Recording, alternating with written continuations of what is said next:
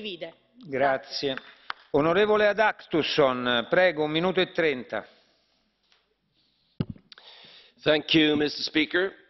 Let me start with some uh, facts.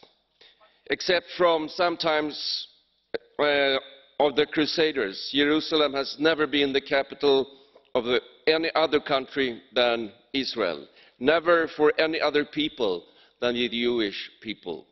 The US demands to move its embassy to West Jerusalem, which has been part of the State of Israel since its foundation. Having said this, it would have been preferable if this US decision had been taken as a result of direct negotiations between the parties. Therefore, the, a principally correct decision at an adverse timing.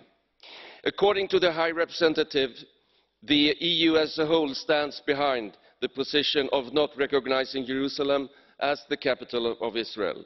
Mrs Mogherini calls the unilateral decision of the US very worrying. Fair enough.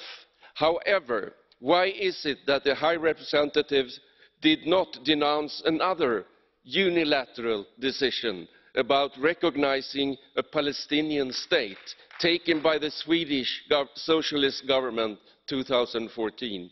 Why is it that the High Representative is expressing deep worries regarding one unilateral move but not regarding another?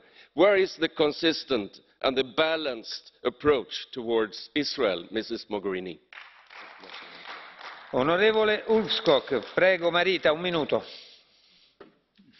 Tack, herr talman. Frågan är vem har äganderätten över Jerusalems status? Ja, Donald Trump han ansåg tydligen att det är han som har det. Det vill säga han infriar bara ett vallöfte, säger han, och så bestämmer han i ett slag